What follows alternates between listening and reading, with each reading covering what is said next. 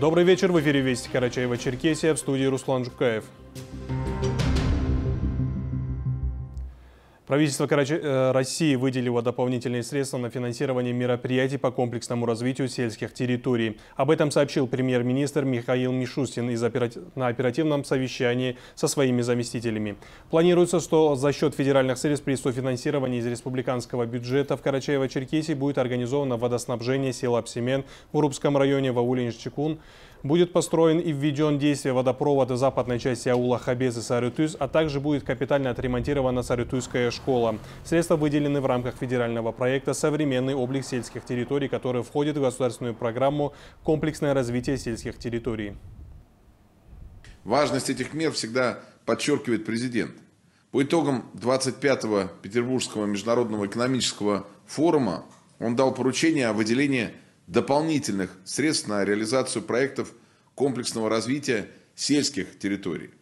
Подписано распоряжение, которое позволит повысить качество жизни в деревнях, селах и городских поселках еще в шести регионах. В Псковской, Ростовской, Рязанской и Самарской областях, а, в Карачаево-Черкесии и Якутии. Там будут построены или обновлены водопроводные сети дома культуры, детские сады, школы и ряд других объектов.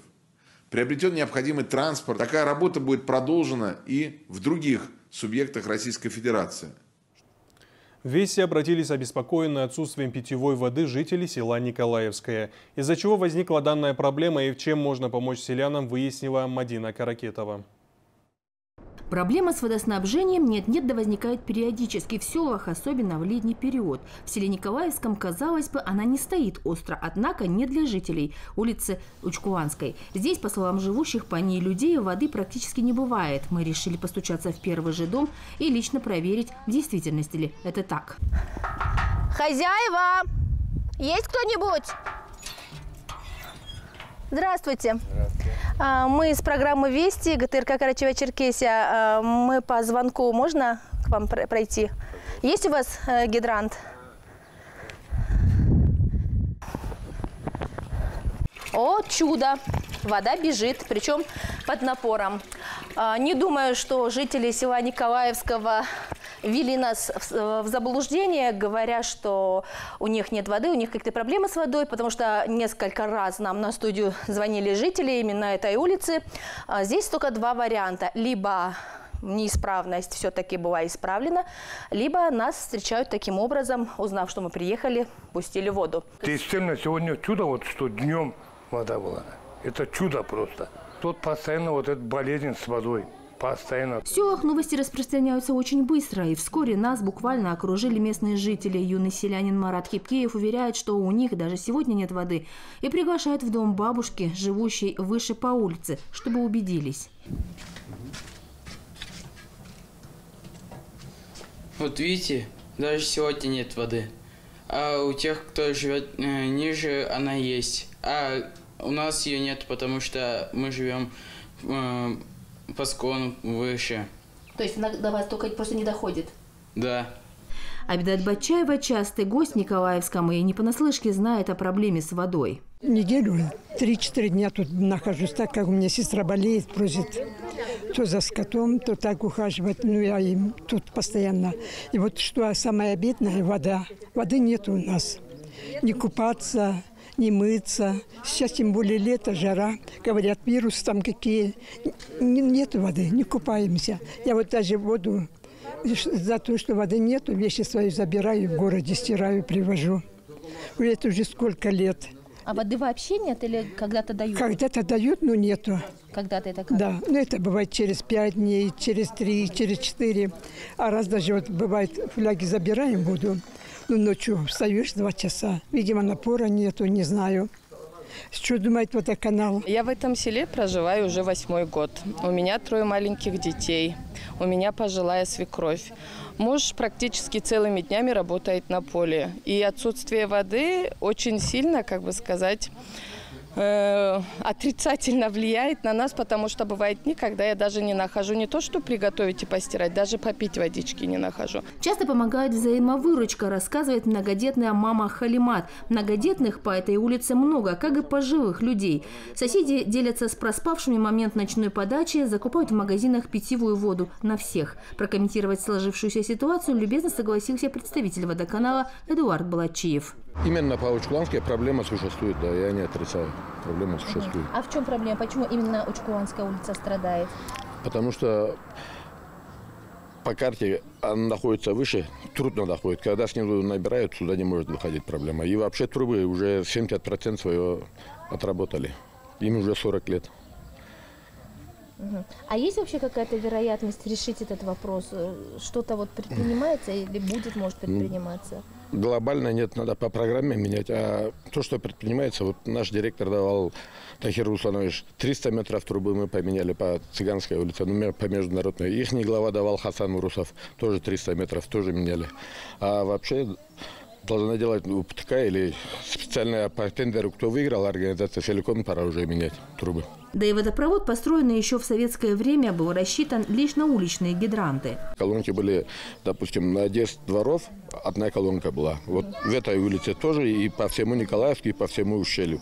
А в данный момент у каждого есть водопровод, есть стиральная машина, есть поливы, есть еще этот, не как положено, по тех условиям 20-15 диаметр, а есть 32 который соединенный. Тоже очень много проблем создает. Да еще и двойные трубы, одна из которых рассчитана на подачу воды, другая так называемая обратка. И по словам Эдуарда Балачева, однотрубная система также могла бы значительно облегчить задачу.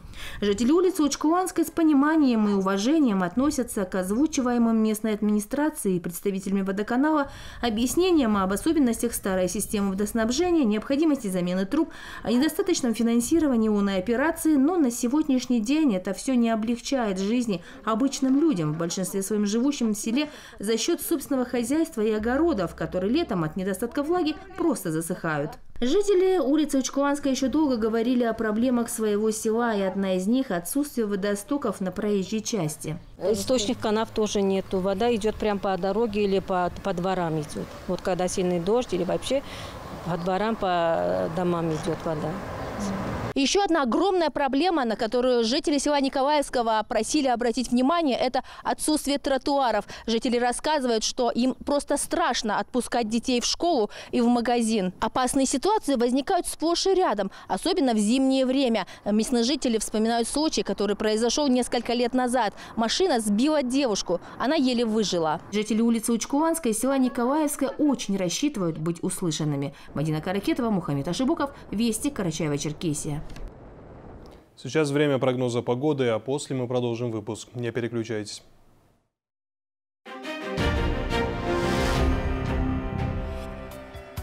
В Карачаево-Черкесии преимущественно без осадков. Ветер восточный 5-10 метров в секунду. Днем порывы 15-18 метров в секунду. Температура воздуха ночью плюс 12, плюс 17, в горах местами плюс 6, плюс 11. Днем плюс 26, плюс 31, а в горах местами плюс 16, плюс 21 градусов. Черкесский без осадков. Ветер восточный 5-10 метров в секунду. Днем порывы 15-18 метров в секунду. Температура воздуха ночью плюс 14, плюс 16. Днем плюс 29, плюс 31 градусов.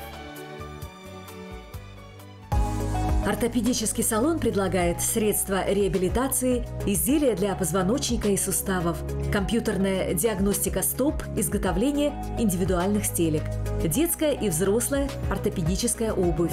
Черкесск, улица Кавказская, 37, торговый центр «Панорама». Окна в рассрочку. Оконный комбинат. 8 938 333 9200. Только 10 и 11 августа с 9 до 19 часов пройдет ярмарка от белорусских фирм «Марка» и «Белвест». Женские и мужские коллекции обуви из натуральной кожи, а также куртки, ветровки. Много новинок. Черкесск, улица Горького, 8. Центр развития предпринимательства.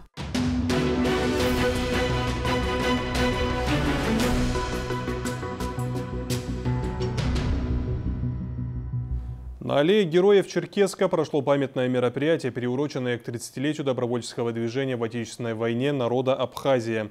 Также участники тех событий были отмечены ведомственной медалью Союза абхазских добровольцев Карачаева-Черкесии за свободу Абхазии. Подробнее расскажет наш корреспондент Алихан Лепшоков. Они сплоченно оказали поддержку народу Республики Абхазии. И сегодня мы вспоминаем тех, кто в эти сложные годы отправился добровольцам принимать участие в Отечественной войне абхазского народа.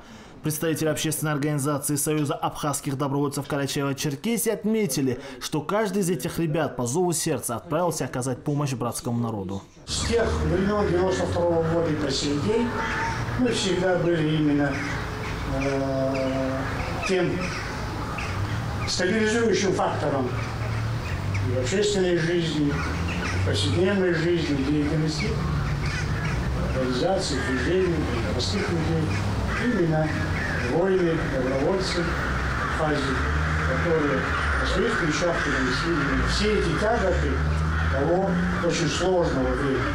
В свою очередь представители общественных организаций выразили слова благодарности всем участникам в Отечественной войне Абхазии. Этих добровольцев объединяло одно это горячее желание – оказать свою помощь абхазскому народу, не желавшему никакой войны. Они все вместе.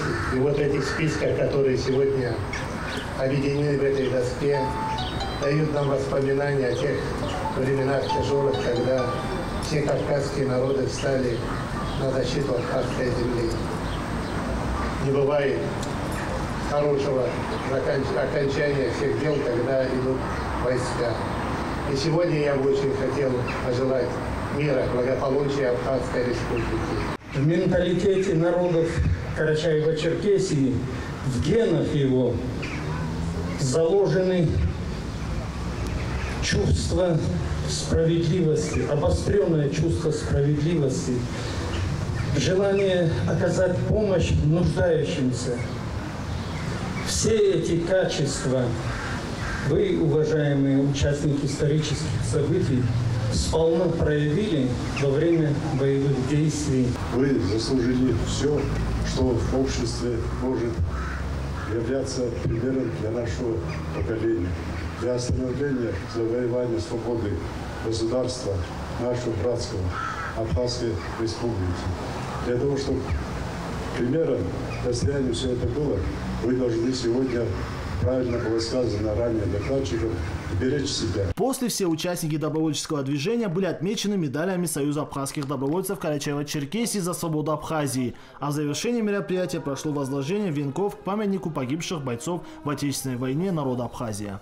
Алихан Шоков, Мухаммед Ашибоков, Вести Карачаева-Черкесия. Впервые в Карачаево-Черкесии было организовано более 30 событий фестиваля «Другой звук», включая концерты классической музыки под открытым небом в Архизе, 6 научно-музыкальных походов в горы, ежедневные музыкальные перформансы и археологические экскурсии в древнейшие христианские храмы Северного Кавказа и на руины древнеаланского городища. Задача проекта – создать для гостей новый и уникальный опыт познания окружающего мира культуры и э, через себя эмоциональное, интеллектуальное и физическое участие. Участниками фестиваля являются 20 молодых музыкантов из Москвы и солисты-лауреаты международных конкурсов, 7 ученых на ведущих научно-исследовательских институтов страны. Увлекательное спортивное мероприятие для детей, состоящих на учете в отделе по делам несовершеннолетних, провели сотрудники подразделений полиции совместно с членами Общественного совета при МВД Карачаева-Черкесии. Зарядку с ними провел ветеран спецназа Марк Кириенко. Он рассказал детям, чем полезна физкультура, как она помогает сохранить здоровье.